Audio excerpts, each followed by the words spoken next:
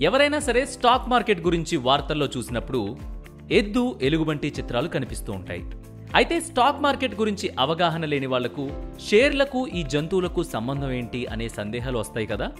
So ఈ bull and bear market గురించి ఈ వీడియోలో పూర్తిగా తెలుసుకుందాం.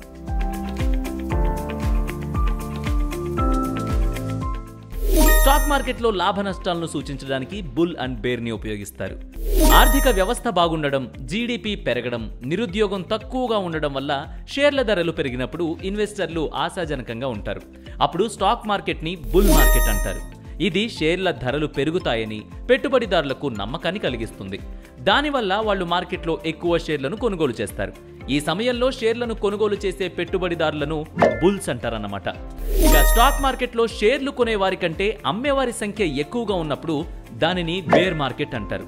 అంటే జీడిపి స్థాయిలు పడిపోతూ ఆర్థిక మాంద్యం వచ్చే సమయంలో ఇన్వెస్టర్లు వారికి ఉన్న షేర్లు అమ్మకానికి ఎక్కువగా మొగ్గు చూపుతారు. అలా బేర్ మార్కెట్లో షేర్లను అమ్మేవారిని బేర్స్ అంటారు. అయితే ఈ స్టాక్ మార్కెట్లో ఏది శాశ్వతం కాదు. ఈ రోజు బుల్ మార్కెట్ ఉంటే రేపు బేర్ మార్కెట్ ఉంటుంది. ఈ రోజు బేర్ మార్కెట్ ఉంటే రేపొద్దున బుల్ మార్కెట్ ఉంటుంది.